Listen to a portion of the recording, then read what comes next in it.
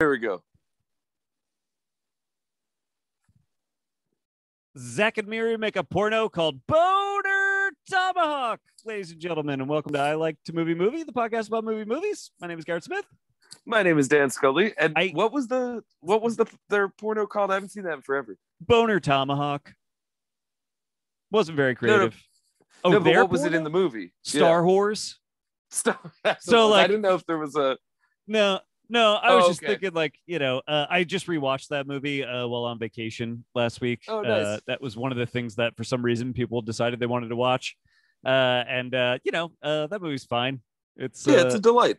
the chemistry of the leads is very uh, good. I really like uh, Seth Rogen and um, Elizabeth Banks in that movie. Yeah, yeah. Um, but anyway, I was just thinking like, oh, I, what I would- didn't know if they actually made a bone parody kind Not- of thing in there in the movie. not that I remember. Maybe they did. Uh, I just figured if they were to make a porno of Bone Tomahawk, it would definitely Oh, be called Boner Tomahawk because that's the level of uh, clever. In, It would definitely involve someone getting you know spit roasted. Yeah. To uh, borrow a hardcore porn term. Yes, yes.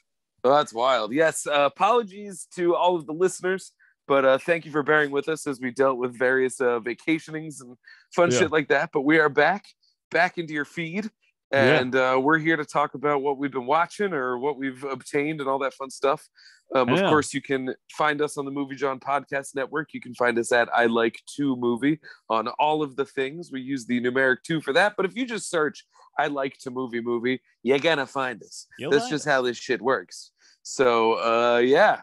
So Dude, how did that that was that movie fun to watch? Because I remember really liking it when I was younger, but that's how I feel about a lot of things that I no longer like. Yeah, uh it was fun to watch. I feel like it held up better than I would expect a lot of other Kevin Smith movies would if I rewatched Yeah. them now. It looks better than a lot of his other movies. Uh and you know, I mean he said since he was literally trying to make a Judd Apatow, you know, he felt like Judd Apatow Yeah, was yeah. making money on his kind of formula, so he just kind of tried to Judd Apatow his formula, you know, like brought some of his actors over and let them improvise and stuff. And so anyway, it's like you know, it, it it definitely looks and feels a little more, I think, fun and energetic than some of his other movies, which is I think Yeah. helpful in like a rewatch. Uh, but you know, a lot of the jokes ha- haven't aged like great, and not even like honestly, not even that they've become problematic. Some some of them I think probably are in retrospect, but like a lot of them just aren't very funny. There, there's like a lot Yeah. of it that just isn't very good. I remember when that movie came out, I wasn't aware that it was a Kevin Smith movie Yeah, until I was like in the car on my way to see it. Uh-huh. yeah, Because I remember they didn't really push that angle of it because he was No. like coming off a cop out and Yep. a couple other things that didn't work. Yep. And um yeah, and I, I remember enjoying it, but I, I really don't remember anything except Chester the molester cock and stuff. That's yes, all I, that and I, I feel like I remember um is it Craig Robinson says revenge of the shit? yes, I feel like that's in there. Yeah. that's all yeah. I remember. Yep. The the all anal uh final finale of the trilogy. I believe he specifies that every time he says the name of the movie. He specifies that it's the all anal finale. He can deliver any line though, Yeah. and it's gonna be funny because all I Oh. remember is him saying with his cadence, "Revenge of the shit." Yeah. It's like it's funny stuff. He's funny in the movie. Uh the funniest part of the movie is early in the movie they go to their high school reunion and Brandon Routh is the guy that was very Oh, hot yeah. that always made fun of um uh Elizabeth Banks's character. Uh, she now would like to have sex with him. Uh, she feels like it will help prove to herself that she's like, you know, changed in the time since, blah, blah, blah. Not knowing that he is now an openly gay man and there with his boyfriend, uh, Uh, whose name is something like, what is it? It's like, it's something Saint Randy. It's like, it's like Gerald Saint Randy or something like that. Uh, and he's played by Justin Long.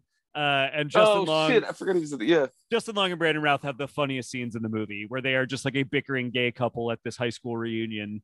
Uh, one of whom I totally forgot about that, but I can kind of remember.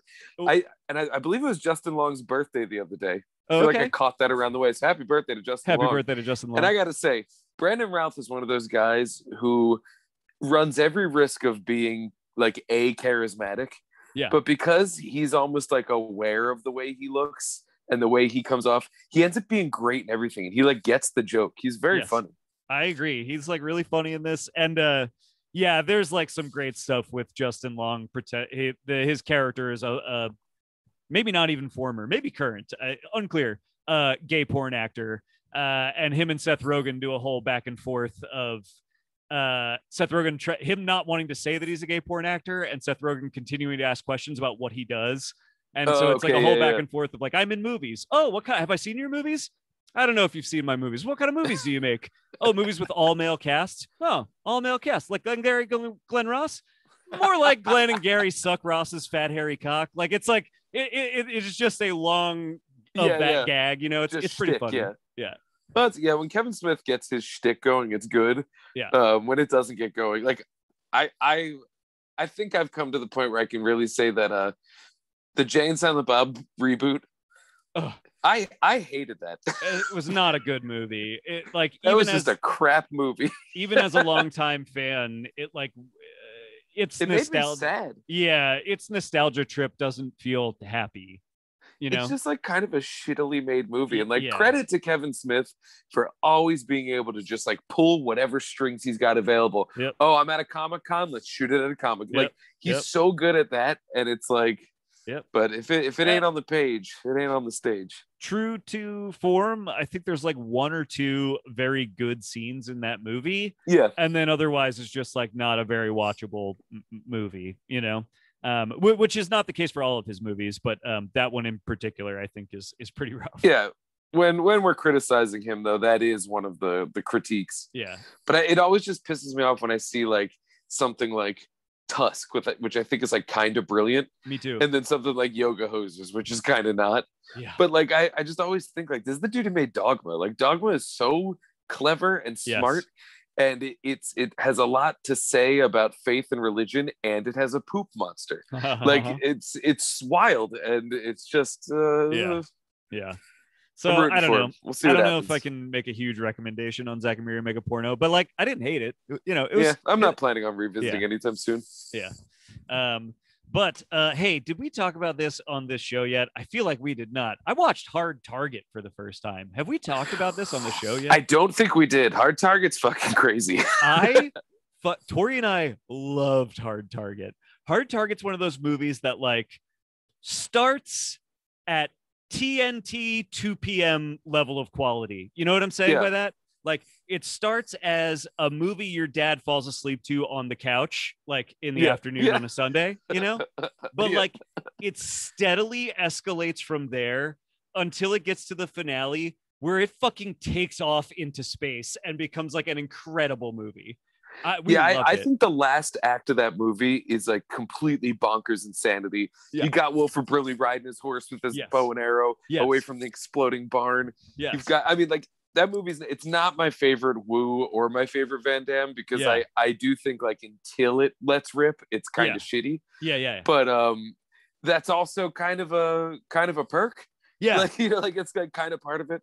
But I mean, by the time he's punching a snake unconscious, yes. And, and you realize what we're all here to do it Yeah. really just it, it makes sense Yeah, I like the early parts of the movie we really enjoyed, but I think only because Tori and I discovered we both really kind of love Van Damme, and we don't Yeah, even dude. really know why. He's just like very charming in a way that is so unlike the other actors that I think of him being like in the league of. You know what I oh, mean? oh yeah he's far from a Seagal yeah. in like, terms of yeah I think of him alongside of even like Arnold and uh uh Stallone and uh and, you know Norris and all those guys and stuff but like he is very um I don't know he's just like a he he's like a charming guy that seems like he doesn't even totally get why he's there all the time like he Yeah. seems Oh, yeah. surprised by his presence in these things and there's something I don't know. He he just is unlike all the other I mean the thing I want to say that I don't want to say is that I feel like he's softer than the other guys but in like a positive way. Well he was a dancer before he was ever a martial artist. Okay that makes and sense. his career started i believe he was a waiter. And if Okay. the the the mythology if i remember because i grew up loving van damme. Yeah. Because i was a little karate kid. Yeah and i yeah. thought van damme was the best. Um i've never been that flexible but like yeah. you know he was the best. And um he has a weird command of like comedy and showmanship that clashes with his accent. Which, if Yeah. you watch some of his more recent stuff where he's like kind of meta-y, he sort of gets it better. Like you know, Yeah. Schwarzenegger sort of actually became a good actor. Yeah. Um, but yeah, I believe if the myth- if the mythology is correct, if what I remember from a little kid reading like Disney Adventures and stuff, Yeah. is that Van Damme got his break when the power went out at the restaurant he was waiting tables at. And so he entertained the guests with dancing and karate and feats of ballet and such. Amazing. And there was someone there that's just like, this kid with the strange accent and the lump on his head that I can't explain, yeah. he's got the goods. Yeah. Get a gun in his hand, put a mullet on his head. I want him punching snakes and doing splits between things that most people couldn't do splits between. dude there's a scene early in the movie where he fights like a gang of like street thugs i guess you would call them there's like three or four guys that like attack a woman in the streets and he like kind of defends her and one of the guys is 100% just his stunt double he's wearing the Yeah. exact same clothes he's got the same fucking mullet and it's like you didn't even do anything to disguise the fact that he's fighting his own stunt double right now you know what i mean Yeah. Maybe in Time Cop that would make sense when he's Yeah. zipping through time Yeah. and there's doubles and such. Although he couldn't touch the doubles, it's Yeah. against the rules. Become slime. Uh, yeah, he's a uh, Van Damme fascinates me. I, I think he's. I mean, I, I really do like a lot of his movies. Yeah. Um, even that one. It's called Knockoff. okay i don't it's know a, it's a crazy pants caper oh with with uh with joey uh, pants No, no, no, like literal pants. Like it's about um like off-brand jeans smuggling. Oh, okay great and I believe it has Rob Schneider. I haven't seen it. I'm, I, it's either that or one of them's knockoff and one of them's double team. And one Oh. of them he's paired with Rob Schneider and one of them he's paired with Dennis Rodman. And both of them are totally worth watching. I believe I can confirm that the Dennis Rodman one is double team because Double I, team. I believe they're referencing his nature as a basketball star in the title of the movie. Double okay, Team. okay. I think. And then there's I think double impact where he plays twins, Yeah. which right. every martial artist worth their weight in anything uh, plays twins. You got twin dragons. You got. uh Uh-huh. Uh, Uh, actually, now I can only think of two. That and Double Impact. Yeah, he's he's something. And I will say about Hard Target is that it's the one time that his accent sort of makes sense because he plays a Cajun, Yes. and nobody on the planet knows how to do a Cajun accent except Cajuns, and even that's hard to grasp. And so it Wilford Brimley is trying, by the way. Yeah, he's trying because, as I understand it, Bizarre. Cajun is French Canadian that went to the Bayou. It's something. so you like get that, a mix of Canadian, French, and the Southern accent. Yeah. And so it's this wild mix how that works.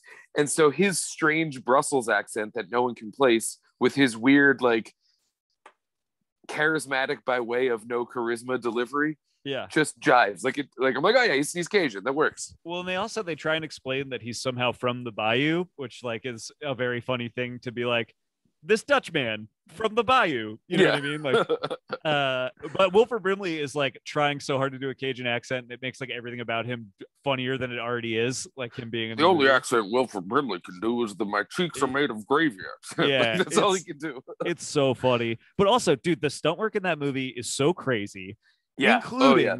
Because yeah, you've got you told me that it actually is Brimley, I think, riding away Oh, yeah. from that explosion. Apparently that was his demand too. Like John Amazing. Woo was like, we can do a stunt double, and he was like, only one person looks like Wilford Brimley, yeah, and only one person who looks like Wilford Brimley is fucking dying to do this stunt. yeah. Let me do it because he was a.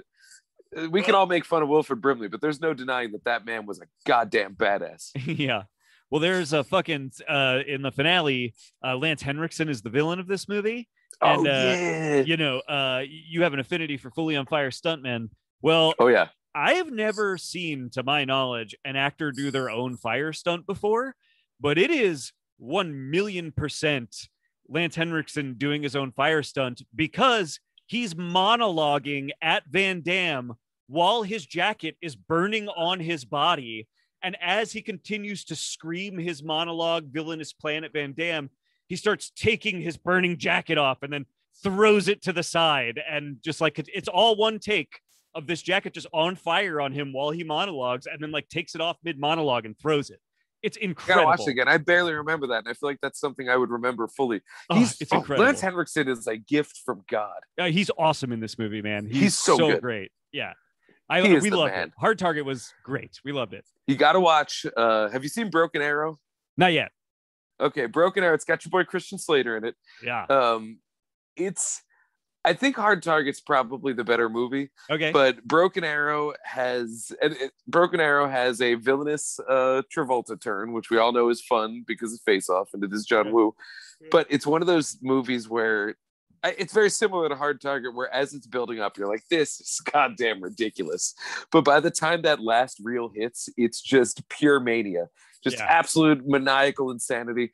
And the way that Travolta is ultimately taken out is like beyond demented. All it's right. so good, dude. It's so good. His final moment is like one of those great just Travolta looking at the camera moments that that he's not cool enough to pull off, but goddamn he tries. Uh-huh. Oh, it's so good. Love it. Yeah, Uh, I, I feel like I I haven't really dicked around with Letterboxd.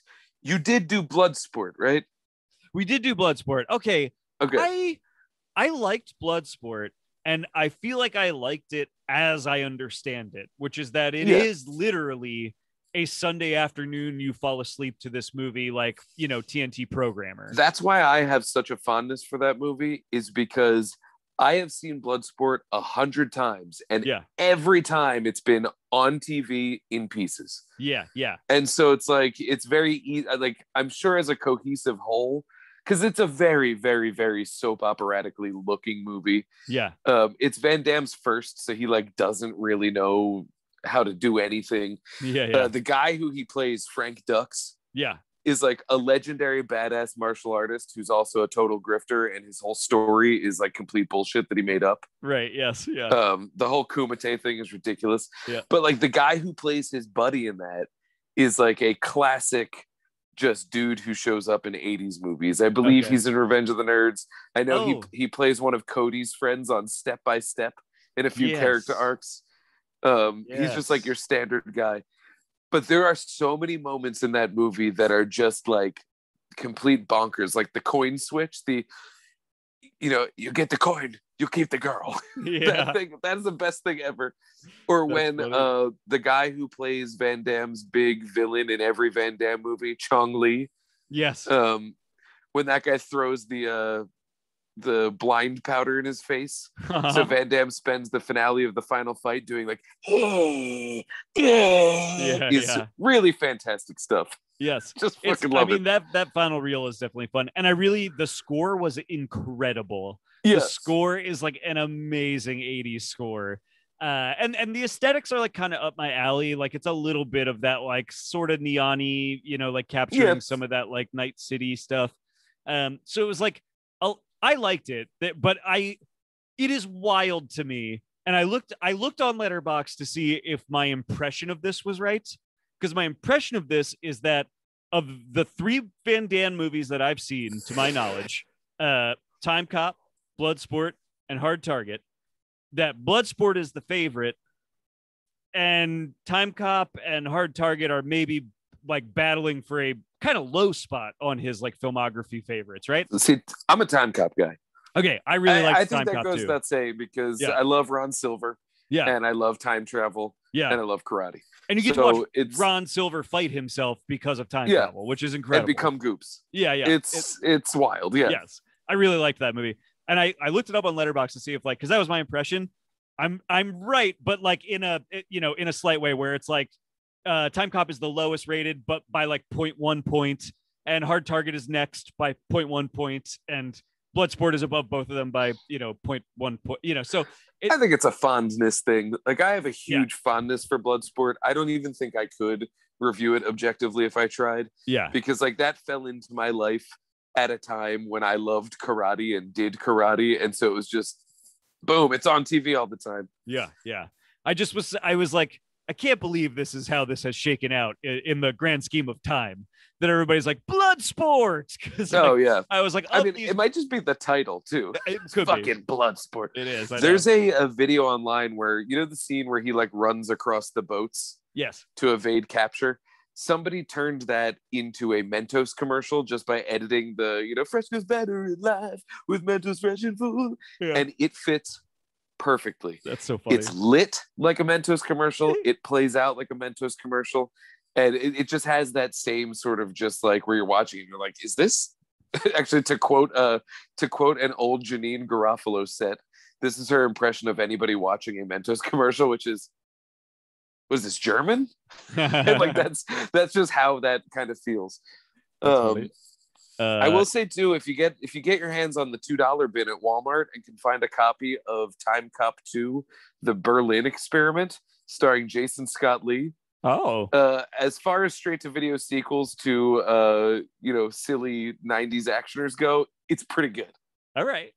I'm a fan. I I know I have the DVD buried somewhere in my in my Well, world. Like all these movies have sequels, by the way, too, which surprised me. Like there's even a Hard Target sequel that was made like Really? like like ten years ago or something. Yeah, Does uh, it star like Michael Dudikoff or something? dude, dude, I think it stars uh Scott Adkins. I think. Hold on. Um, No way. Oh I- yeah, Scott Adkins kind of jumped on the Van Damme train, like he did all the Universal Soldiers. yeah. Um, Uh, it does fuck with that indeed sure. star Scott Adkins. Yeah. Uh, Hard Target 2 from 2016. So not even, yeah, like in the last like five years. dude, I honestly, Scott Adkins is one of those dudes who like. I, I just wish he would become an A-lister, but like the movies he's making were cool in the '90s. Yeah. But when it comes to just like straight up knockdown, drag out karate shit, there's like few better in the game outside of the you know the uh, uh what's it uh Timo Tjahjanto gang. Yeah. I mean, I'm genuinely surprised he has not shown up in a John Wick yet. I assume that event, if they make enough of them, he will, you know? He has to. Yeah. He has to. Yeah. Yeah. He it's like great, like it's his style is a great mix of like the uh circus like technique of of like a Jackie Chan, yeah. but with like the brutality of something like the raid. Yeah. yeah. Um like his his Universal Soldier movies, which people forget the original Universal Soldier with uh uh Van I watched Damme, that recently. That's, a That's, that's a Roland movie. Emmerich movie. Yeah. That's That's a wild. that's a stinky movie. I didn't like that. I- I have a fondness for it, but yeah, that's Yeah. not a that's not a great movie. But yeah, Yeah. like the the Universal Soldier, I think The Reckoning with Scott Yeah. Adkins, yeah. gnarly shit, totally badass. Um, yeah, I want to see some more Adkins, but even his like, uh, I always forget whether it's called Accident Man or Mister Accident. I know what you mean. Yeah. I heard that's great. He's like, it's it's a lot of fun. He's got a lot of charisma, and it's like the style of charisma that all of these '90s karate guys uh, applied. yeah. But he's actually like a little better at it. Like he's yeah, got yeah. he's a better actor than Van Damme was at the time. Um, yeah, he's keep, he's keeping that torch burning. Yeah. Uh, dude, you want to like dig into some of the uh, shit that we've been like watching from our buy piles? I know that's been like a thing that we've been Yeah. having fun doing. Well, I will say this: I haven't bought any of these. Well, I, I did buy the original, The Howling. Oh, nice. Yeah. I think that movie's a stone cold masterpiece. Yeah. I know it you is like it. Yeah. it's so good. I- Yeah. It's just I gotta like, rewatch it. it's a movie, movie, movie, movie, movie. Yeah. Yeah. Yeah. Yeah. The transformations are incredible in that movie. I, I Incredible. They remember wrote a scope an animated one, and it's in the middle of a fuck scene. It's Yeah. unbelievable. Yeah. You've watched the sequels. I'm getting through them. Yeah. Yeah. Yeah. I I don't I, I actually would like to research what happened with the rights to the Howling Yeah. series because that first one is like a legit good movie. Second one's a lot of fun. Um but immediately it's like a huge drop off in quality Mhm. of production. Like it's just Mhm. like a crappier production. Yeah. And like I'm up to six. I watched Oh, boy. six. And um one, two, and three. One is like like I said, I think incredible. Two is a lot of fun, but you make some concessions. Three has some value, but yeah, it's running out. Four through six are just straight up dog shit, just Ugh. like absolute crap, top to bottom. Are they even And trying to be like howling movies? Like, is it The that kind of sixth one, I don't even rightly believe has much by way of werewolf in it. okay. Yeah. Like a guy does transform when the moon is full, Yeah. but I don't know if I'd call what he undergoes werewolfing or any. It's yeah. Yeah. man, and like like the fourth one, everything is ADR'd and poorly, and by actors that I don't even think are the actors performing Oh, because they don't look like the way that they sound. It, it's I have never seen it. Like, yes, it's understood that a lot of times in the horror genre, there's the law, the law of uh, diminishing returns.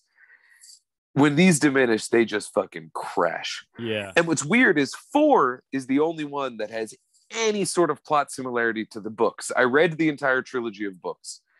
And um, the only connection that the first one has with the book is a couple character names.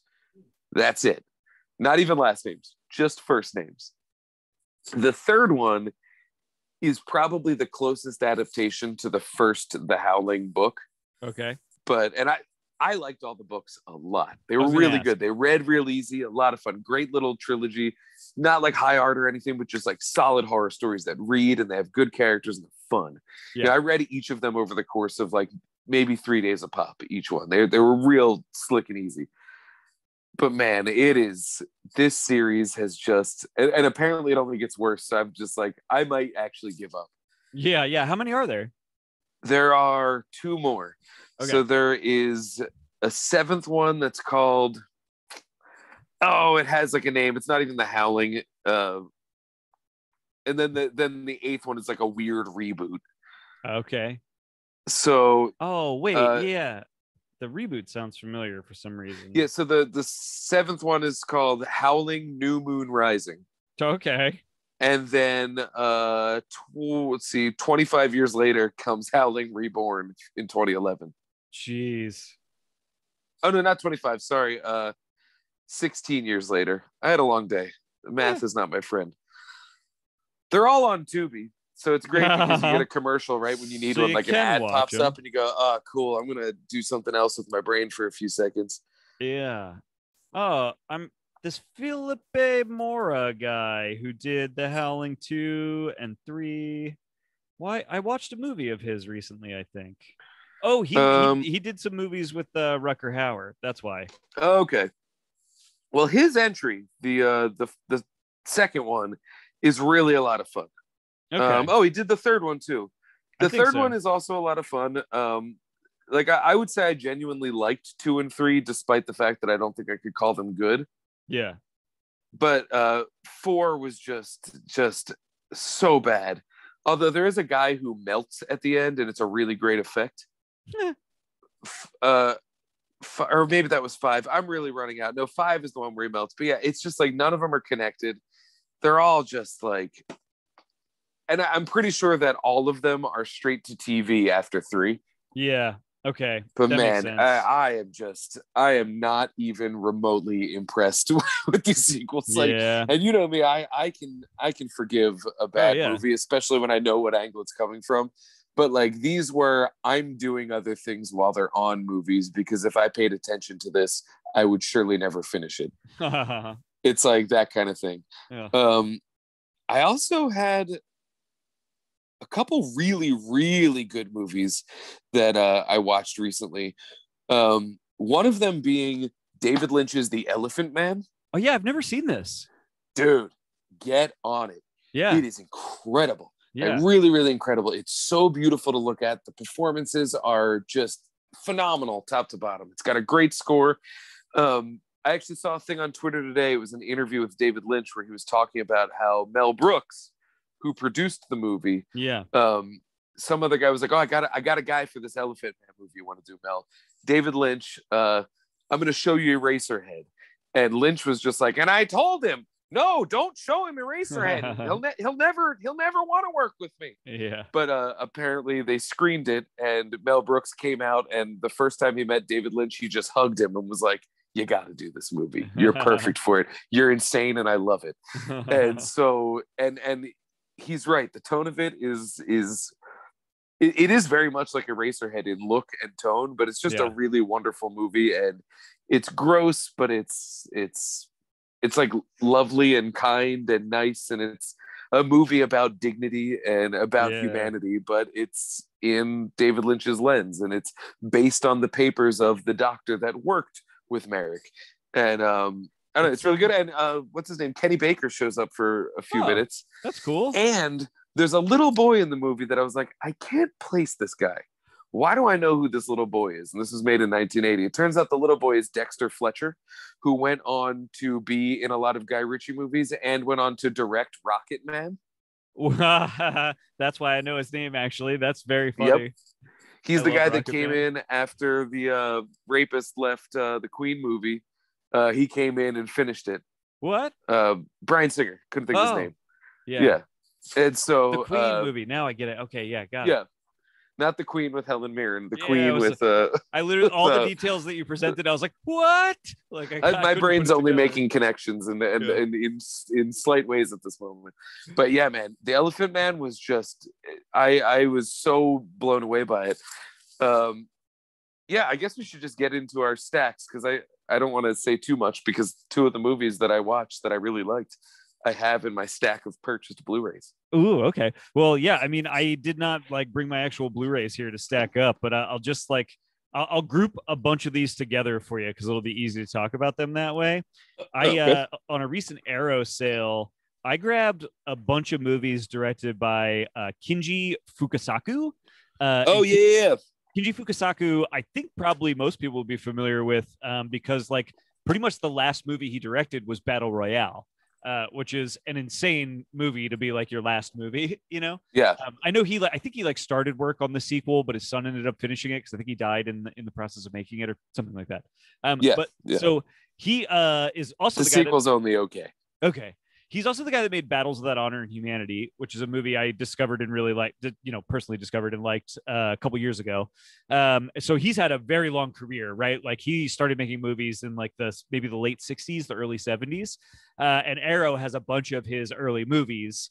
Uh, so I grabbed a bunch of them. I watched uh, Street Mobster, uh, which stars the same guy that is in Battles Without Honor Humanity. He's a great actor. Uh, his name is Bunta Sugawara. Ooh, that's a great name. Yeah, and uh, he plays a great, just like gangster, basically. And Street Mobster was a really good-looking movie that was like kind of a typical yakuza movie, in my opinion. Which means it was just kind of confusing and a little hard to follow, but full of like really cool scenes. You know, like yeah. lots of good scenes, but a little hard to follow. Um, Did you ever see at- a Sonatine? No, I've not seen that. It's like it's one of those movies that like I watched it and I was like, man, I know that was good, and I got no fucking clue what's going on.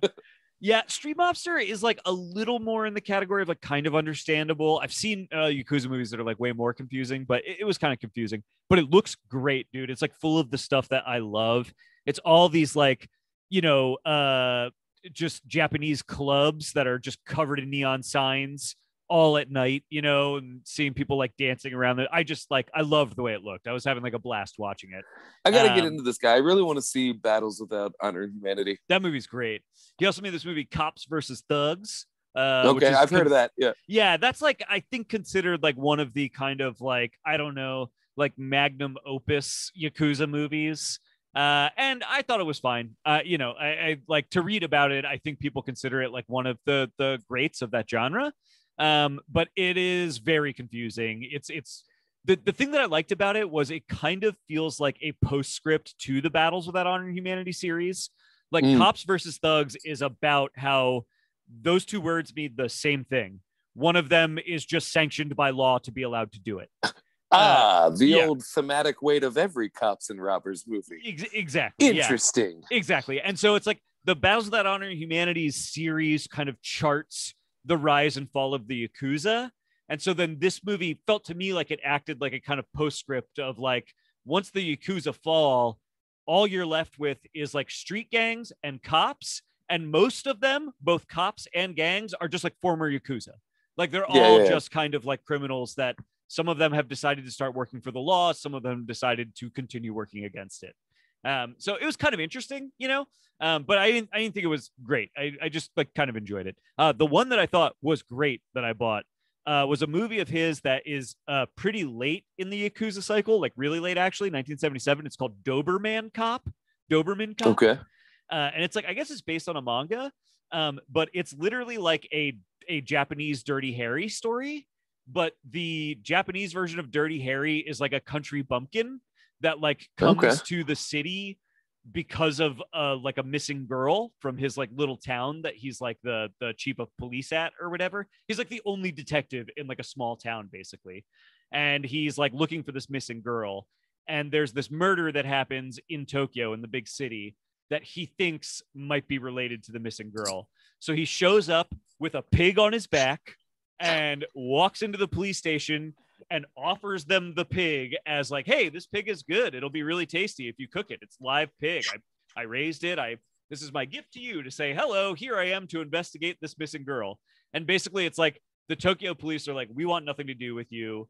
And he is basically like, well, where I come from, the only law is fucking me. So I'm going to do whatever the fuck I want to investigate what I'm investigating, regardless of whether that is within what you consider the law to be here in Tokyo.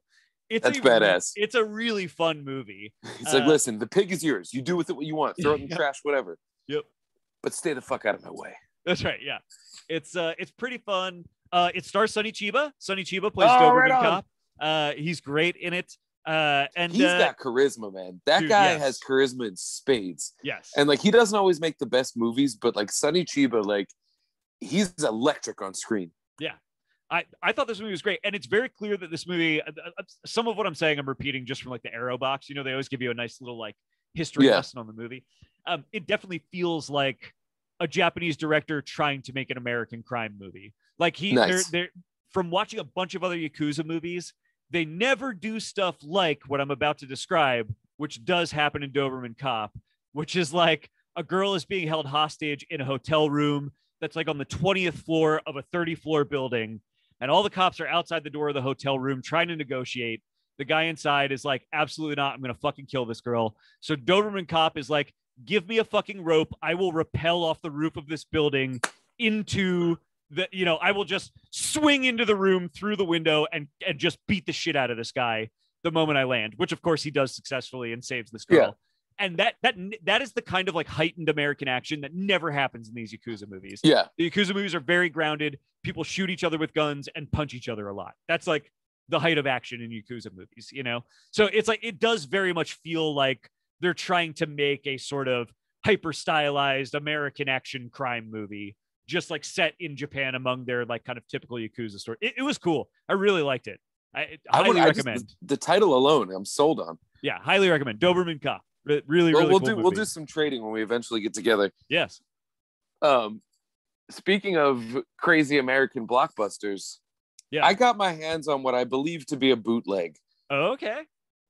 I believe that they took the Blu-ray that used to exist and no longer exists and just copied it Yes. Yes. and sold it on eBay with their own artwork, which is why I was finally able to watch True Lies Aha. again in Blu-ray fashion. It looks it looks great. Did And, and, like this cover is printed on printer paper, yeah, that's amazing. but Did- it is like the legit cover. Yeah. Man, oh man, this movie. I know that there's there's like a turn against this movie now.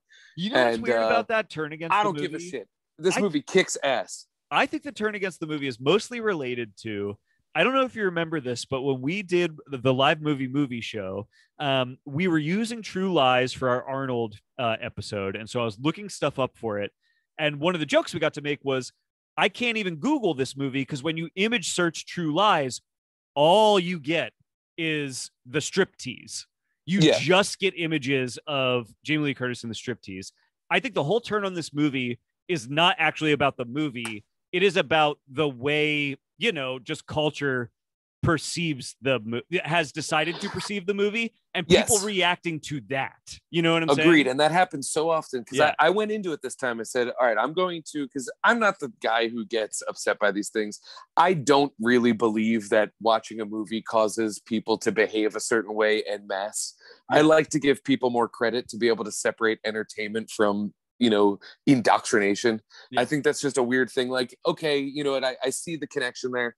I just don't, I, I- think I just have a much higher, and, and don't get me wrong, I have an extremely low opinion of people but I still think that that I just I this idea that that that watching a movie makes people behave or believe Right. certain things. I just am not fully on board with that. But I was like, I'm going to watch this with an open mind.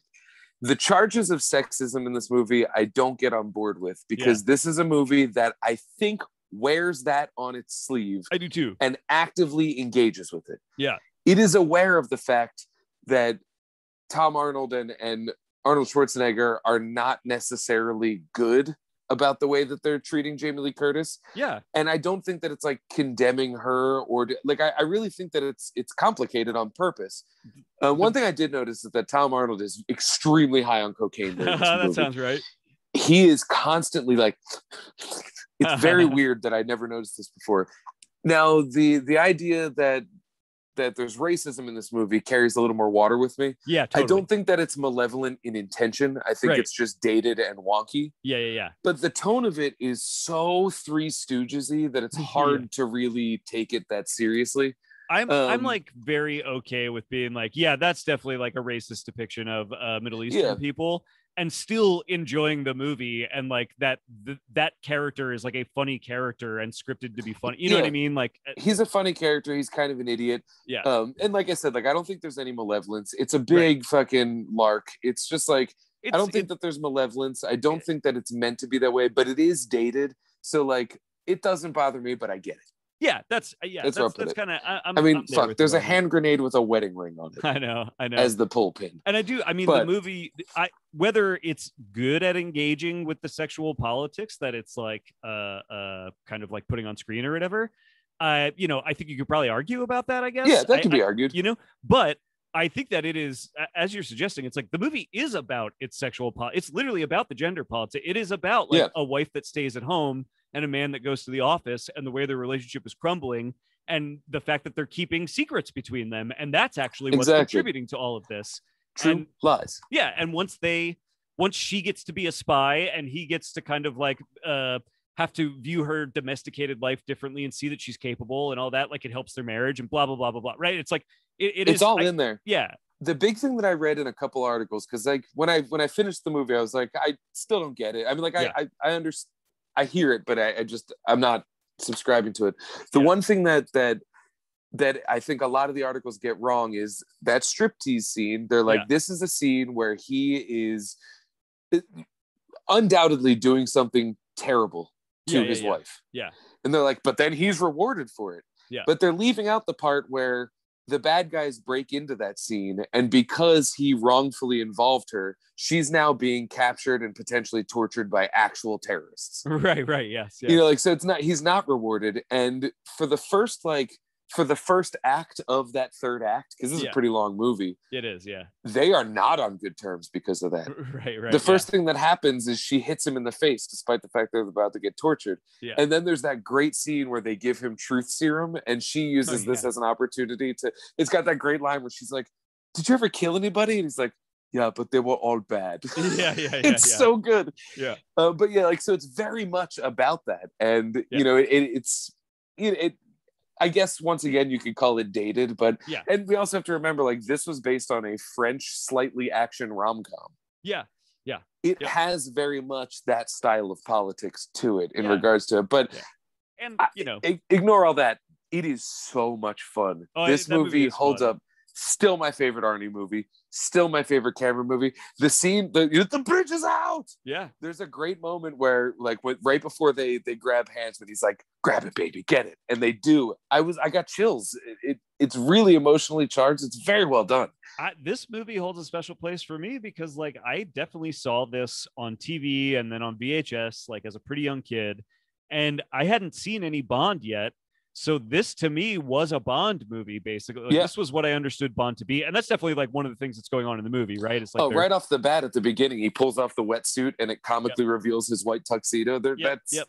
that's It's- yeah. purposefully Bond. so it's like so it was my in my little kid head it was my understanding of like yeah these are what bond movies are and i think it's kind of why i've never totally gotten on board with bond since because no single bond movie lives up to what true lies is do you know what i'm saying it's like That's it- true, yeah. you know uh so yeah um I- it definitely holds a special like nostalgic place for me uh and and i think holds up uh the times i've watched it in adulthood it's fun it's just like a fun Dude, movie the action looks good. It's Yeah. so much fun. The scene where they finally kiss as the mushroom cloud goes Yeah. off in the background, that's like that's like the pinnacle of 90s action filmmaking to me. Like that is Yeah. high fucking art in the middle of a movie that is just silly fun. Yeah. Like that is that that is Cameron just like at his peak to me is that shot. It's just awesome. for some reason the thing Yeah. i always remember most from that movie is the dumbest smallest thing but it's when arnold is just walking into traffic and so tom arnold comes alongside him to be like come on buddy come on 'cause," you know and Oh a yeah, yeah. and a truck like almost hits them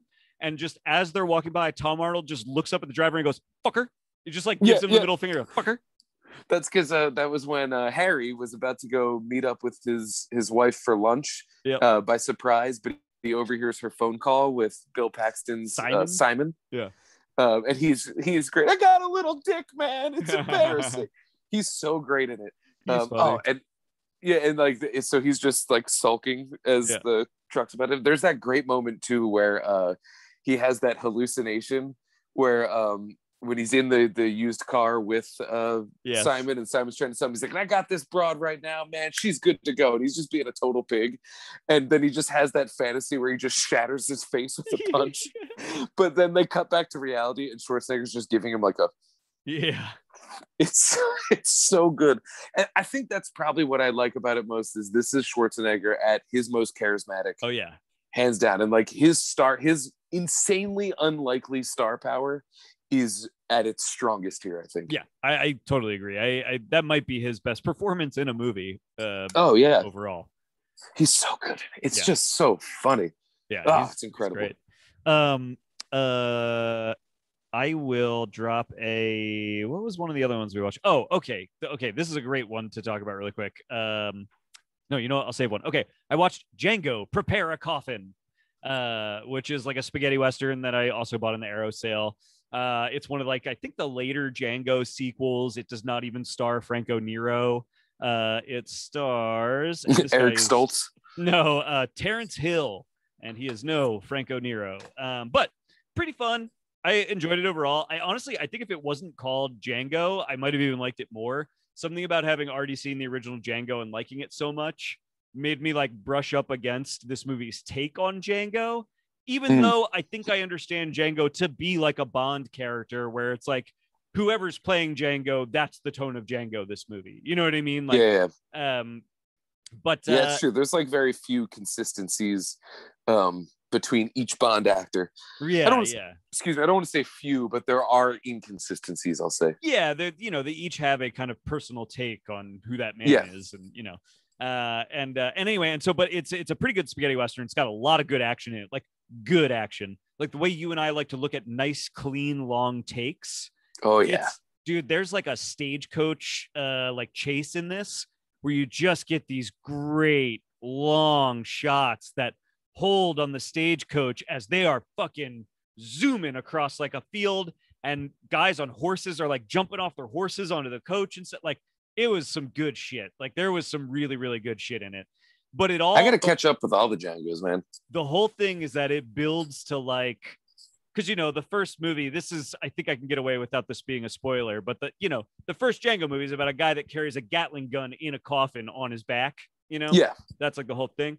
So this movie starts with django having to fake his own death and so we see him burying a coffin at the very beginning of the movie and what the whole movie turns out to be about is the journey back to the coffin so that we can get to the finale because we never actually see what's in that coffin like we just see Yeah. him burying a coffin so that we get we build all the way to this finale where he's digging a grave for himself and the villain comes up and he's like i see you're digging your own grave and Django gets to be like i'm digging yours bitch and like and then, you know it gets explosive from Blacka, there. blacka, blacka, yeah, yeah yeah it's it is it's very fun uh, uh really really strong ending so yeah. Oh, nice. Yeah, I want to catch up with the Django's.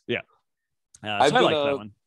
I've discovered, and I did this accidentally. I uh, because this is hard to find in 4K, I had to get Whiplash on eBay Yeah, because I'm, you know, I've been uh, that's been rocking out the movie. drums lately, Yeah, and so I, I wanted to get that. But as a result, I discovered that uh, a lot of steel books go for real fucking cheap on eBay.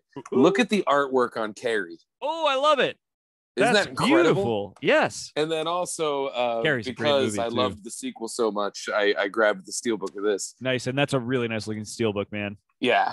Oh yeah. And that's a But, great movie. um, Like I'm very much looking forward to seeing the sequel because Dude, that it's first so one good. is a great movie. I almost in a weird I mean, it's definitely this is a dumb thing to say, but like it feels like people forgot a quiet place is a great movie. I don't know. Yeah.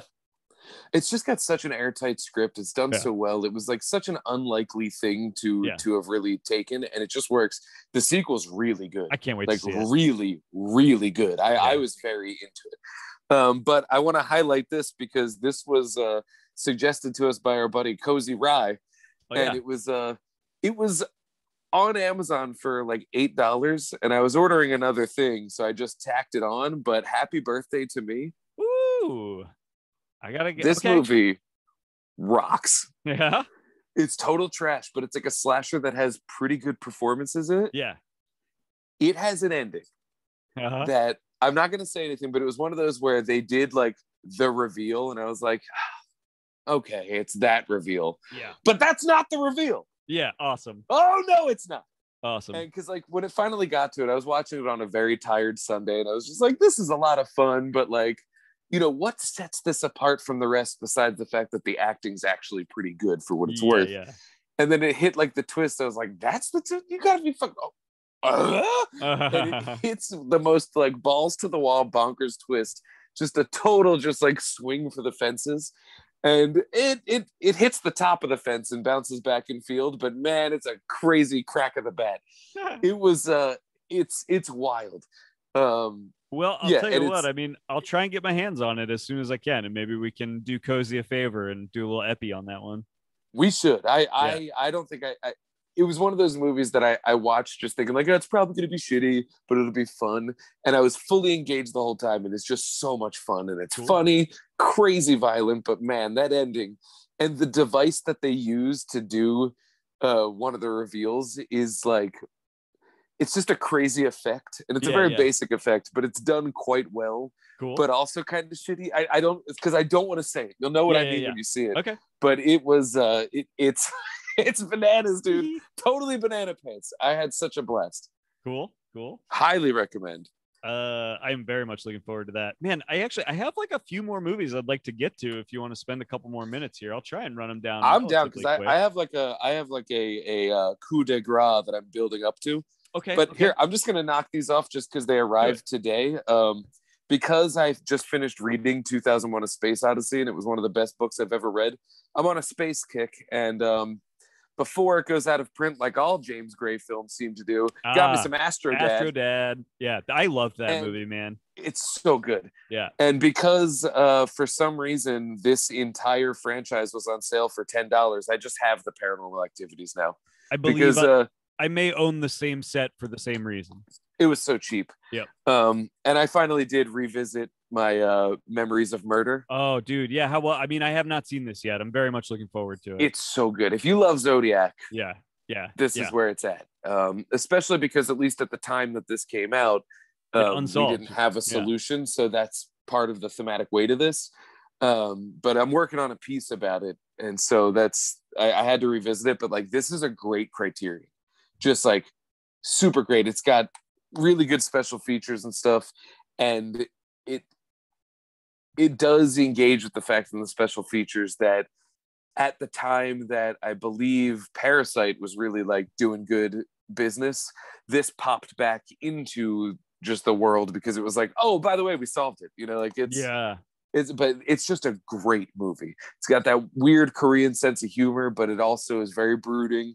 Um, really heartbreaking stuff. It looks beautiful.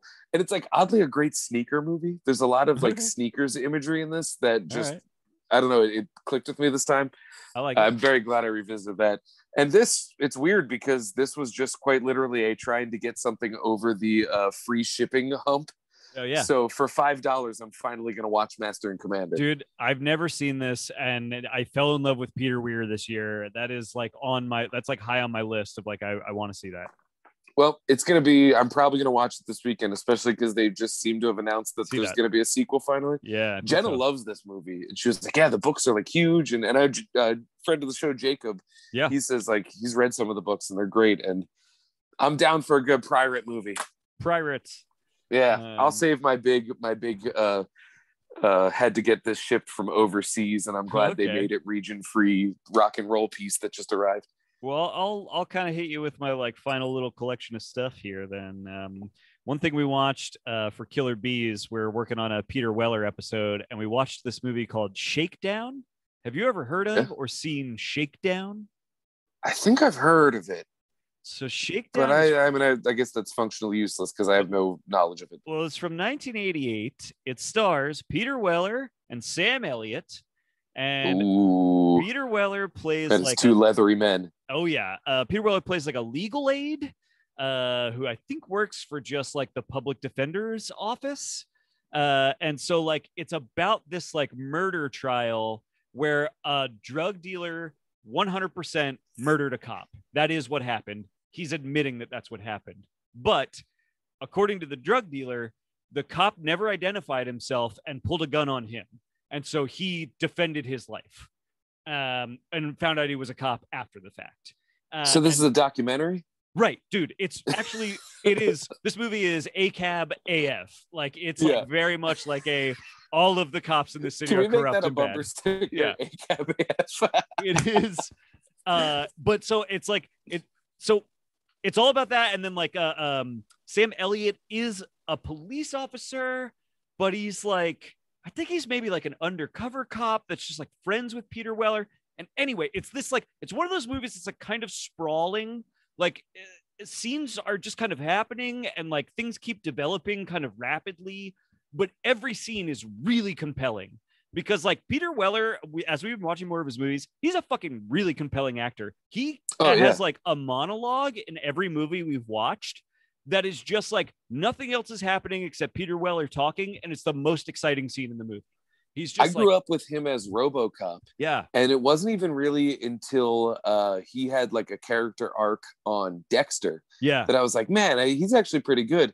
And then I only recently caught up with Naked Lunch, and I was like, Yeah. shit, he's brilliant. Yeah, yeah. And dude, he like all of his characters, at least in like the 80s stuff we've been watching, I kind of get the impression that he might be like one of the first quote unquote yuppies because they're all Okay. for, they're all former hippies that are now like upwardly mobile, like making their way into money. Yeah, Like every single it's one funny of these, because that's what he plays in Dexter too. He's like a CI that, yeah, every single one of these characters says like groovy and man and like they all talk like that, but like they're all like making money as like le- like doing like you know law or something. You know, it's like yeah, it's really yeah. weird. Um, but so I'm gonna put this in my list of things to see because you have to see Shakedown. I'm not kidding. You have to see this movie because it's like everything I just said about the plot and how it's like interesting and relevant now and stuff is great, but it's also like a fucking wild action movie. It's got really fucking good stunts, all shot seemingly on location around New York City at night in the 80s. It's like it looks great. Oh, same director as The Protector with Jackie Chan, Yes. the uh, Jackie Chan Danny Aiello comedy classic. Gl- That Glicken- actually very name? good. Glickenhaus. James Glickenhaus. Great name. Yeah. Dude shakedown fucking rocked we loved it it's really fun it's really funny uh it when you get to the finale you'll understand what i mean both in the scene itself and sort of the way in which uh the characters just abandon the entire ethos of the movie before to like have a finale uh Nice. it feels like a Fast and Furious movie. Like it feels like a lost Fast and Furious sequel is like kind of the tone of it ultimately. It's great. There's a scene where Sam Elliott at a bar monologues about how he was in love with a girl once. He lo- he was madly in love with her and she invited him up to her apartment which was like on the 38th floor of this high rise in New York and she had just waxed the floors so it was like beautiful and clean and she had this beautiful little puppy that he called over to himself and as it came over on the waxed floors, he missed it when he tried to grab it, and it slid across the floor, straight out the window, down 38 floors, and fucking died. And he was never able to speak to that woman again. The love of his wife, the love of his life, just walked out, and he never saw her again because he couldn't recover from it. Dude, dark.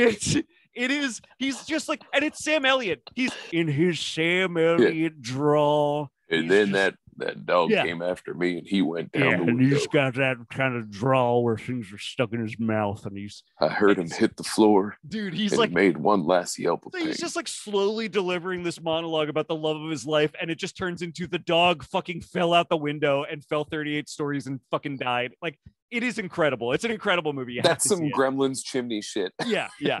God damn, that's hardcore. Everyone must Man, see. that sounds incredible. It's He's great. a It- little bit beef jerky, Yeah. and he's a little bit barbecue sauce. Yeah. together, they're shakedown.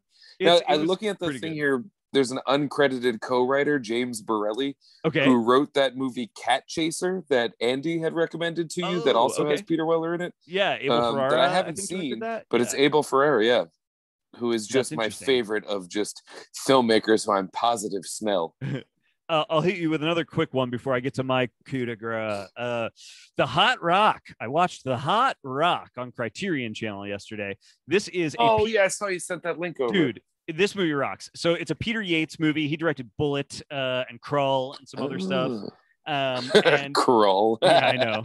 Uh, but it stars Robert Redford, George Segal, uh, Ron Leibman, Ron Super Cops Leibman, yes, Huh? indeed. I know me some Ron Leibman. Uh, Paul Sand, who I recognize, but I wasn't really sure from what. Uh, and then in a really interesting kind of small role in the end, Zero Mostel, uh, who I know from Moses Gunn too. Yeah, Moses Gunn is in this movie. Yeah. Um, there, it is a great cast, and it is okay. So it's Robert Red. The movie starts with Robert Redford getting out of prison. It's definitely like must be huge inspiration on Soderbergh. Robert Redford Okay. is getting out of prison. He's like a former thief.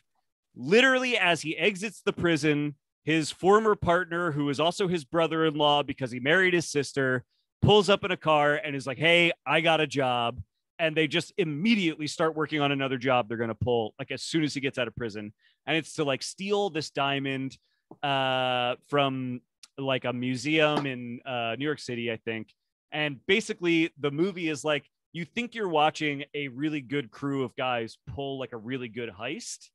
And it feels like the movie is probably going to build to like you know the finale will be the heist but then you're only like 25 minutes in and they're already doing the heist and the heist goes wrong and so then they've got to break one of them out of jail because of the result of the heist. And that goes wrong. So then they've got to, and it's literally just like a series of escalating, like this one job to get a diamond becomes like five other jobs of like having to break people out of prison, of having to like, you know, uh, like steal a helicopter, of having to, it's like all of these escalating. It is, and I it's just added that to my list, and I have Criterion. Oh, dude, you got to watch it. William Goldman wrote the script, or is like one of the Nice. credited writers. Feels very William Goldman. It's like it's really snappy. The characters are really funny and really well defined. They each have like distinctive, different personalities. It was so much fun. It gets like a little bit long. It maybe like over escalates its escalations. Do you know what I mean? That happens, yeah. But it's great, and it does have a good Oh, ending. Like, deep. Okay. yeah, it, it oh, Really you good made movie. the Friends of Eddie Coyle. Okay. yes, yes, yep. Uh, really, Oh, really right good on. movie. Highly recommend. Uh, oh, uh, Okay. Quincy Jones did the music, so it's got this fucking great pop and jazz score. Like it's awesome. Okay. And so the guy who wrote the novel that it's based on is Donald Westlake. Okay. He wrote The Grifters, Payback, The Stepfather, Oh shit. Parker. Um, Okay. is Ripley under? Oh yeah, Ripley Underground, which is one of the uh, Tom. early Tom Ripley. Uh, Okay. Uh, but I think he wrote like the books that they're based on. Yeah, so he's he's legit. He also wrote uh, "What's the Worst That Could Happen," the famous uh, Martin Lawrence, Danny DeVito comedy yes. from 2001. Um, Uh, oh, right on. I assume Ah, that sold. I assume that movie answers its own question by Yeah. existing, by being a By, movie. by simply by existing. Yeah. Although I'm not gonna lie, I would watch that. yeah. I mean, I mean, I wouldn't. I what an interesting pairing. Yeah. Yeah, it's I could see that because they're both people that I find I find Danny DeVito funny all the time. Yeah. And I find Martin Lawrence funny when he's paired with people that he can be really good with. yeah. Yeah. Yeah. Like, yo, not gonna lie, his performance in Bad Boys for Life I, I've heard this. is really good. Yeah. It's very funny, but it's also like this really like adult and mature performance. Where I was like, shit, Martin, where did this come from? Yeah. It's yeah. I would watch good. that, but oh man, I'm totally gonna watch that. I might watch that. I've got a lot of time to myself this weekend because uh, the play that Jenna's in is going into tech. So oh, uh, nice. I've got Yeah. a lot of yeah. She's writing gonna be busy. reading to do. Yeah. But I uh, I Dude, I- definitely want to get a I couple loved it. I in. I can't recommend the Hot Rock enough. I had like so much. I had such a good time watching it, and it's like a movie that like it opens and is immediately firing on all cylinders. You know what I mean? It's Sold, just like yeah. the way it looks, the performances, the music. You're just like you're in immediately. It's it's really fun. And I recently came across um, Jenna's parents had a brand new Fire Stick that they weren't using. Huh? So now I can finally watch Criterion Channel on the TV instead of my iPad. Love it. that, That's great. That Oh. and Shutter. I'm so excited. dude that's amazing i mean that is yeah, Yeah. that's fantastic uh, okay so here's my coup de grace and it's my coup de grace because it's a follow-up to our most recent episode i did watch the devil's candy and i fucking loved the devil's candy i thought Dude, the devil's brutal. candy kicked ass it is that so family's so great. Ugh, it is so brutal like it honestly like i can't remember the last time i felt like kind of scared by a movie and it Yeah, scared me. That sound. Oh, I love that dude. The image Yeah. of him, the whole concept of that. That he's, I mean, a it's a little funny. He's literally hearing Norwegian death metal, it like as Yeah. like a voice, right? Um, but the idea that he combats that with just droning heavy metal up in the attic of his house is like such a cool metal image. Like I loved like just watching that and hearing that sound and stuff. But it's fucking scary. Like the idea Yeah. of that guy and and just how brutal he is in the way that he attacks this family and the way that he is constantly saying like don't make me do what i have to do you know there's like yeah. there- there- all the the ways that he is presented and and the brutality and ruthlessness with which he executes like what he's doing is fucking frightening it, it like Yeah. was a- very scary to me And there's such a sweet, nice family that like lives by that code we talked about of Yeah. polite metal. Yeah yep Um, you know, of confidence and Yep. strength and family and love and acceptance and all that. Yep. But I'll tell you, here's the lasting legacy of that movie to me.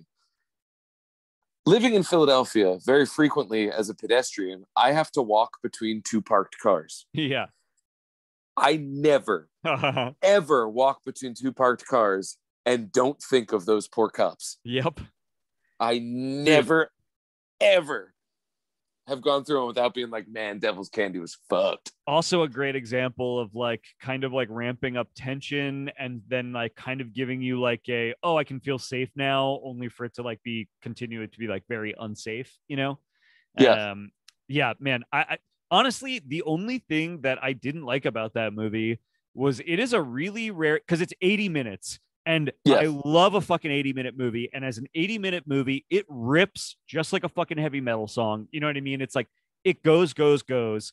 And that's good. Like I that is not a complaint. However, I actually felt like it's like a rare example of like that movie probably could have and should have been like a hundred minutes. Like Yeah, I actually I could have it dealt with more of it. I, I think it would have benefited from just a little more time with the characters because there were just occasionally moments where she's going like oh dad can i keep the guitar he left here and like for some reason the character is considering letting her keep it and it's like fuck no you can't keep no there needs to be enough time that i understand why he would let her keep that guitar do you know what i mean like Yeah. I there were just a couple of moments where, and again, I actually think this is okay that the movie does this. I would rather the movie just speed through it, like just tell me that's what they're doing. I definitely have to watch it again because like little details escape me still because I watched it when it first came out, I think Yeah, yeah. 2015. So It- it's it- been a little bit. There's just a couple of like little things where I felt like I didn't totally buy. It wasn't that I didn't understand, but I didn't totally buy that the characters were like, yes, let's continue with the movie now. You know what I mean? Yeah, yeah. and and I'm okay with that. I'm okay with just that's the movie and it's fast, and I would prefer it to be like, let's go, you know. So I'm Yeah. I'm okay, but I did actually feel like it could have used just a little more. You know what I mean? Like a little more with the I two hear ya. characters. I think I would have bought. I some of definitely plan to watch it again soon, especially having revisited the loved ones. Yeah, it yeah. just it's I got to do it. I just want that guy to make another movie. dude. Me too. He's got such a distinct style. He knows what he's doing. It's Yep. like I think we covered it on the show where it's just like, is there anybody making movies that are like steeped in just like the culture of metal? no, I like it's not like cool. this, not like Yeah. this, and I and I really appreciated it. It also, dude, it made me realize we talked about this a little bit on the episode, but this movie really hammered it home where it's like there is a weird thing that I never put much thought into about heavy metal where there is like this inherent kind of like not all the time but like satan is like a part of things that are always talked about and referenced within especially in this movie. This movie is a lot about like satanic imagery and whether the devil is making him do, right? It's like all the flame like there's all this kind of devil satan talk and imagery which makes it like inherently christian there's like crosses in the movie that get turned upside down because we're supposed to believe i think that this is a demon and the way it's trying to tell us that through like cinematic language is like we all understand demons don't like jesus stuff so here's a cross turned upside down. But like the thing that i never really considered is like that means there if you are to buy into the mythology of satan you kind of are also automatically buying into the mythology of like the christ and stuff too. Not necessarily but like a little bit you know it just i don't know i don't even have anything interesting to say about know this. I just I think it's interesting. counterpoint. yeah yeah Um, I did. I'll actually show you. I have it on my wall. I have my certificate here as a uh, member of the Mm-hmm. Satanic Temple, and uh, as a quote unquote religion, it's actually distinctly a religious. yes It's yeah more of an activist group with anything. But the I'm- reason that it invokes satanic imagery is not to say not really to be Christian or anything. I mean, one, it's a way to um, gain the unfair exceptions that religions get in our government Yes. to further the activism. Like the there's a movement going on right now within the Satanic Temple where they have created a religious ritual that is performed as part of an abortion and that's their way of arguing for abortion availability is that That's it's a amazing. religious right Yeah. Amazing. so it's like things like that Yeah. but the invocation of you know baphomet and satanic imagery is i don't this is not the right word but it's almost a troll Yeah. it's almost to to poke fun at the propriety of like no we're embracing this fucking evil thing because fucking metal man and so that's the counterpoint but i'm not necessarily disagreeing with what you say i I because i you know you know I what mean? totally understand all of that, and and I think especially when you're talking about metal, it is meant to just like fuck with the squares. Is the whole idea Yeah, of the exactly. satanic angle of it. But they Yeah. still are putting crosses on everything. You know what I'm saying? Like they still, in order to do the like Satan can be separated from Christianity. There are plenty of myths about Satan that don't have anything to do with Christianity, but they always accompany it with the cross when it comes to metal. They always accompany because they because they want to attack the very specific like Christian kind of like leadership of America, right? Like, yeah that yeah, is part of it yeah it's But- as much as we don't want it to be and as much as um, the notion that america was founded as a christian nation is patently false Yeah. there's no denying that in the fabric of america it has wormed its way in as the Yeah. dominant And so I just, for some reason, I was thinking about a lot, that a lot with this movie, where I was like, weirdly, like part of what you have to buy into to buy into the mythology of this movie is like Christian mythology. You know what I mean? Yeah. Like this movie's version of this is like distinctly Christian, and so you have to buy into the Christian mythology to buy into the demonic part of this mythology, which I just thought, I don't know, for some reason that had never occurred to me before, and it like my brain like opened up thinking about. I have no real thoughts about it other than just like that is weird and interesting and like something that I would like That to investigate more. that popped up when i was watching the i watched all the conjuring movies Yeah. both of them to lead up to the new one which is eh. um but I, the first two actually hold up great but i, those forgot how steeped they are in christian mythology Yeah, yeah. um, you know, it's very much about there are forces here, the forces of God and the forces of Satan. Right. Keep your crosses right side up, hold your cross tight, make sure your kids are baptized. Like there's Yep. literally a scene in the in uh, the Conjuring where um, uh, Ed Warren's just like, "Oh, did you ever get your kids baptized?" And Right. uh, Ron Livingston, he's like, "Well, you know, we never really got around to it." He goes, "You might want to rethink that."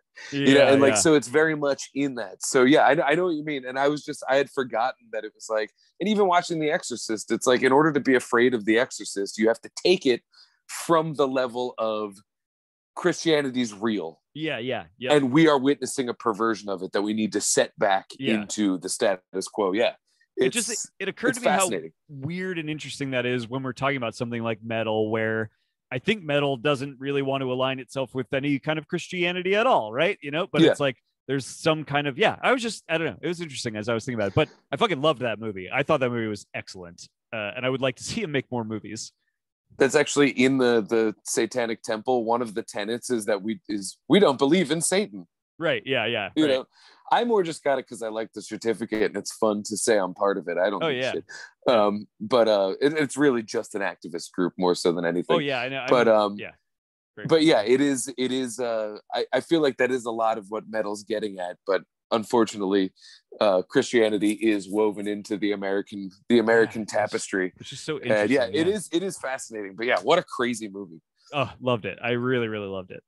And uh, Ethan right, I'm- fucking awesome in that movie. oh Really dr good. nick papagiorgio himself Yep, really Man, good in that he's movie. so good in that. And like, if you didn't know it was him, you wouldn't know it was him. You know, he's Right, like, he's in his forties now. You know, it's yeah, wild. yeah. Yeah. that's a great movie. That is, it is fascinating. I, I, I feel like, uh, um, like what you're saying about the Christianity thing, especially in like horror and stuff. I think we're going to be moving away from that as the default good and evil Yeah. because there's certain movie like The Vigil is a movie that came out recently that's in that's steeped in uh, Jewish religious mythology Right. Yeah. um you know we're gonna start seeing things like um there's this movie called the wailing um, yeah, I haven't seen that yet, but I would like to. it's real good Yeah. um there's a trailer from like one of the producers the Ra- wailing of this movie coming out called the um the medium Okay.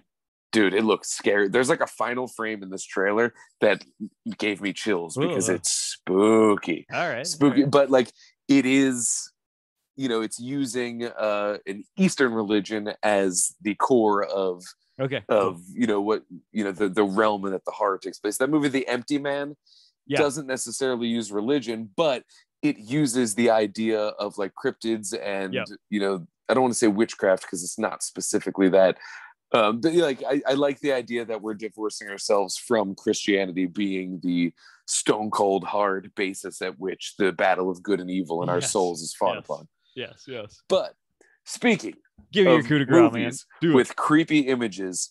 Um, one of my favorite found footagers that I only recently caught up with, uh, Severin Films recently put out this delicious Lake Mungo Oh, package. Yes. Yep.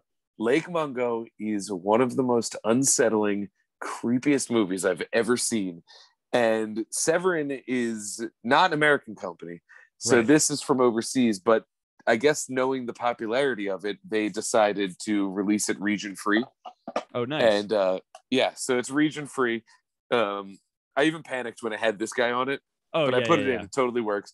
But yeah, it's like a stacked thing. But check this out. It's got this incredible, just incredible Oh, nice. thick killer book all about the production and stuff. That's but it also has, and I've been saving to do this on the air. Um, let me get these out of here. Sometimes it's like you don't want to break these things, so you have to. But these incredible pieces of artwork Oh wow. Yeah. that um, were packaged with it, um, just like you know Oh, wow. postcards that Okay. are. Yeah. They did a bunch the, of them.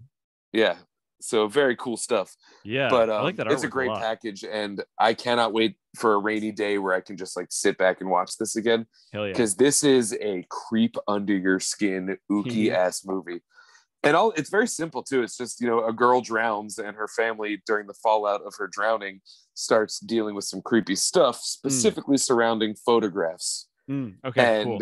the way that the that the scares are set up is that the uh it's never like anything jolting or any crazy footage it's just the camera will be on a photograph and it like scans over the photograph and then when it's done you're like what did i just see Yeah. Yeah. Yeah. I think I just saw something. And like it's the kind of movie that like and then it'll call your attention like here's an anomaly in this photograph. But while it's doing that, there's 10 other things that you don't find out about in that photograph. And so like by the end credits, it goes back through all of the photographs over the credits and then knowing what you know is in them and you start looking for what you're you start finding shit. Ah. That's cool. it's so spooky. Uh, really great found footager, and you know my love for found footage. Oh, yeah. And I, I couldn't resist, and this is cheap as shit too. So Hell yeah. it was, uh, yeah. So definitely, uh, Second Sight Films, not Severin. Sorry, I apologize. Second sight. Okay. Gotcha. Second Sight Films. Um. Yeah. So that was like my big haul for this week was Lake Mungo. Hell yeah, dude. That's exciting. Yeah, man, that's a good one. Uh, well, you want to wrap this baby up? Yeah, should we announce what we're doing next week? Do we want to decide? Oh, that's a good idea. I mean, I could try and track down uh, "Happy Birthday to Me," uh, or I don't know if you have other ideas, other thoughts. Um, I would be into that. Um, I would be into if you wanted to try and hunt down Master and Commander, we could do something like that. Ooh, yeah, yeah, yeah. Um, what else was there? What else was in my stack here? Is a good idea. That's a pretty good idea. Um, I've wanted to do the Signal for a while. We could do that. Master and Commander is currently on Prime Video, so I could watch that at any time. Uh, meaning, I think that would be a good one for us. I think we could. Do Yeah, that. we could do that. Let's do I was also going to suggest the box. Oh, oh, Richard Kelly. Yeah. Uh, I might be really into that. Hold on, hold on, hold on. Let me see how available that baby is. I'm sure I can get my hands on it one way or the other. Yep, that's available. Let's let's do some box. I think I could be. You want to do the box? Let's do and it. maybe Let's we can do Master and Commander in the future. Yeah. All right. So, ladies and germs, uh, we will be doing the box. Richard Kelly's uh, take on the Richard Matheson story about the uh, press a button and uh, you get some money. That's right. Um, this is, I think, this movie is remarkable, I really and I would dare I say it. that it is Cameron Diaz's finest hour. Oh, okay. Yeah, she's real good in it. I I, mean, I like recently this watched this like a couple months back, and and was just so impressed. I mean, I'm pretty diehard, all in for Richard Kelly at this point. Yeah. Um, I mean, I, I like him a lot too. Yeah, he's making some weird shit. He's on a trip, man. Um, so yeah, so okay, let's do the box. I'm into it. Very right into it. on. All right. So did you say that this is streaming somewhere that our listeners can? Uh, I think I can rent it on like YouTube, basically. So it is, you know, it's available. It's it's floating around out there. You can, you can get your hands on it. Um, okay. Yeah. It is. Um. Yeah. It's it's literally a dollar to rent on Amazon. Yep. Um. It's literally two dollars to buy on a variety of platforms. Yeah, So uh, nice. it's like extremely available. So I'm I'm, gonna happily rent this movie for a dollar. right on. Right on. Okay. Yeah. The box it is. Awesome. Very excited. All right, guys. sm- Fucking punch that subscribe button in the face. That's right. um, check out uh, moviejawn.com because we are part of the Movie Jawn network. Movie Jawn launched their Patreon today. Oh yeah. So there's a lot of cool perks that you can get out of that that have just begun as of uh, it'll be Monday. So if you're watching this the day it comes out uh, tomorrow, that will be available. A lot of cool stuff there. Um, a lot of opportunities for you to hear and see more of us, which is what this is all about. And uh, yeah, and so then next week is the box. We're at I Like To Movie. I'm at Dan Scully on all of the things. Um, check out moviejawn.com, findy.com. I believe that's it. Uh, I'm at Philadelphia. Oh, And Hot. Property. Uh, we did the the Nitro Gummy Bear Challenge this week, and it was really hilarious. So definitely check out Hot Property. Hell yeah, yeah! Check out my other podcast, Killer Bees. Uh, we just put out our uh, Rutger Hauer episode. We have uh, another Rutger Hauer episode coming next week. Uh, the big thing on this episode that I cannot recommend enough is that you find the Guinness ads that he made in the 1980s. They are wildly hilarious and on YouTube.